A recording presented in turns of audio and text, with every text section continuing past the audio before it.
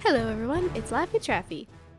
Chapter 1015 of One Piece is out, and now it's time for my review. If you haven't yet, check out my reaction to this chapter.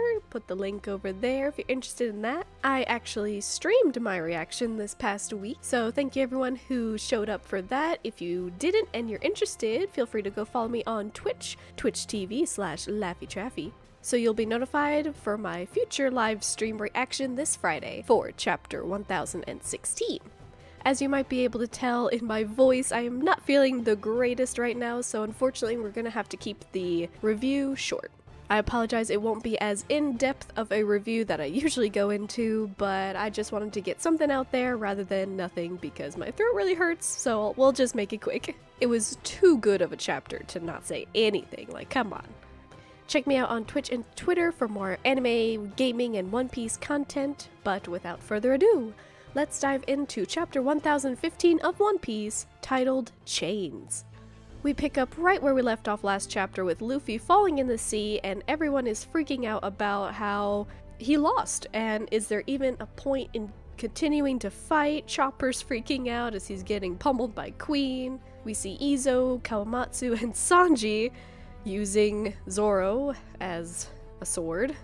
Ironic. I wonder if Zoro classifies as a Saijo O Wazamono. I think he could do it. Because we all know that the Saijo O Wazamono was when Zoro used Sniper King as his sword. Anyway, things are not panning out for Chopper as Queen says that he's just playing around and Perospero sends a volley of arrows called the Apocalyptic Candy Shower, but just in time before Chopper possibly was beamed by Queen's coffee breath, Sanji shows up with a Diable Jambe rotisserie strike, and it is amazing as he flings Queen's head in the circle, spinning and spinning like a Beyblade. Queen even deflects all the candy arrows so everyone is safe, and Sanji declares that Luffy has made so many miracles up to this point that, come on, Chopper, how can you really doubt him? It's amazing to see Sanji stepping up here and taking on Queen.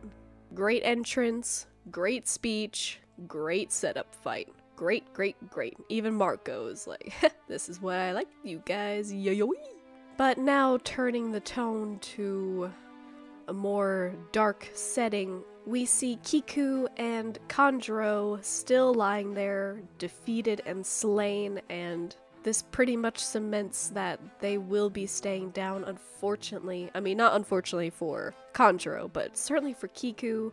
But her death was very beautiful and she fought hard, and now we turn to Kinemon, who all he has left is a broken sword as he tries to delay Kaido for even a moment. His and Momo's flashback too got me. I was just too shocked in my live reaction. I was like, no, no, no, no. But the more I think about it, and the more I think back to him, and oh man, it gets you in the feels. It was really cute to see how Momo and Kinemon tried to get used to their new roles as father and son, and right before, as Momo is looking over his shoulder crying as Shinobu runs, Kaido comes down with a slice right through Kinemon. But as a true samurai, Kinemon fought with honor and was defeated with honor, trying to save Momo in whatever way he could. And as he lays there, Kaido speaks of defeat, which I hope is foreshadowing to when Kaido won't be able to accept his defeat from Luffy. And we'll get into that in a second. We get confirmation that the voice that Momo was hearing is indeed Luffy. I felt kinda silly for giving that theory last chapter review, but I mean, it kind of made sense. We didn't know all of the details about how the voice of all things worked and who had it, who could hear it, but if it's based in power with like Zunisha and the Sea Kings, then Luffy can definitely have it. If he if he can hear it, then he can use it. Makes you think that Momo might be able to someday use it in this way as well. I mean, the comment from Momo, who is it, could be waved away as just suspense or Momo being taken off guard. The next moment could have been, Who is it? Wait, is that you, Luffy? But it cut to another scene. Also, he's always been shown to be in pain or discomfort when experiencing the voice of all things, so I didn't think that that had to do with who was talking. He had pain, him and Luffy, when they were talking to Zunisha, so none of his reactions dismissed the possibility that Luffy could have been the voice. In my opinion, of course.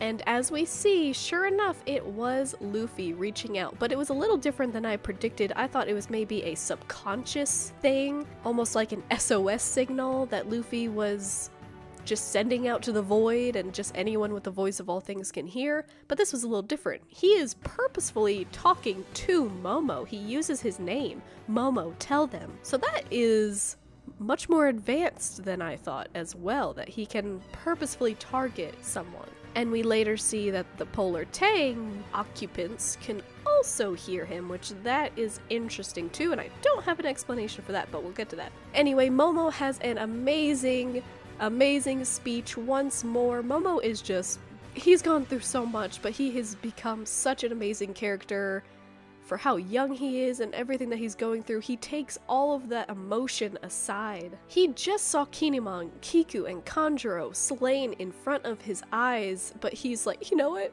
I gotta tell them. I have to tell them Luffy's message. And he does. He shouts into the Mary, erasing all doubt and hesitation from the battlefield as he says that Luffy is alive and he will be there to beat Kaido.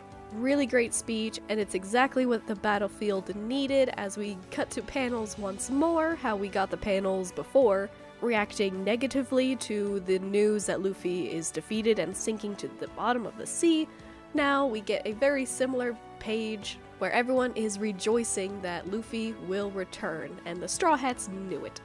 We cut then to Shinobu successfully evading Kaido, which that's pretty impressive. She uses her ripe ripe jutsu to destroy the edge of a cliff and get away. I don't know if they're going to fall into the sea now. They would be in front of the polar tang, so there is the possibility if Momo doesn't freak out and fly, that would be the best option. And then he could fly Luffy up top, back to Kaido. But we don't see where they fall, and just a side note, but there's these two panels on page 15 right after Shinobu crumbles the rock and Kaido reacts to it. There's a skinny panel of all the rock falling, and then right next to it is another skinny panel of a bunch of bubbles. And I just thought that that was a really cool transition to the crumbling rock to the bubbling of the sea as we transition to the polar tang swimming through the water. You can imagine the anime like turning the rocks into bubbles as it transitions scenes. It was just cool, I don't know. But we do see, in fact, that the Polar Tang will save Luffy as they mention how Luffy could be speaking in the water. But, you know, they waved that off quickly because they just need to save him. Hopefully he's still alive, which we know he's alive. So Jean Bart and crew are coming to the rescue. We also get a conclusion to Zeus's mini arc of his fight against Big Mom and Hera and Nami, and it turns out that the timing and everything as Hera, I suppose, was taking out Zeus's soul, and then Nami stuck her Clima-Tact in there, and then Hera bit down on it, but Zeus was there. He somehow got transferred to the Clima-Tact. And there he is. He's not in it. He actually is the Clima-Tact. Which I won't even go into all the possibilities of that power up, but let's just say I think it'll be better than having Zeus as a thundercloud inside. I am excited to see that. And then, of course, my favorite part of the chapter was when Law shows up and will be assisting Kid in his fight against Big Mom. I don't know how well they'll do, just the two of them, but it is just Big Mom. I say just Big Mom. I mean, in relation to Big Mom and Kaido from earlier. But, I mean, at first I was doubtful, but the more I think about it, I think they might be able to do it? Maybe it'll turn into a big clash later on where Big Mom and Kaido will pair up again, and then we'll have maybe Law, Kid, Yamato, and Luffy all fight together again. But if this is how Big Mom gets taken down, then I'm okay with that because this takes me back to Sabaody Archipelago when Law and Kid were fighting against the Pacifistas and as Big Mom is trying to tell Kid that it was all just a bluff, that Straw Hat's definitely defeated, Law steps up and he's like, you know what? We've been allied for a while, and you know, sometimes you just get this funny feeling that he'll find a way out of this in the end. Let's form a temporary alliance, kid.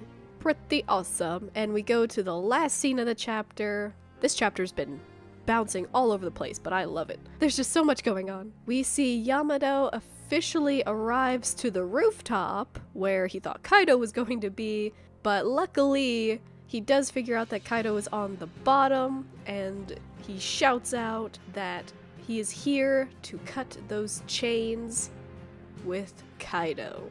I am all here for a Yamato versus Kaido fight before Luffy gets up, and then maybe Yamato and Luffy will fight Kaido. I don't know, but that would be amazing. I feel like Yamato has a lot of strength, for sure.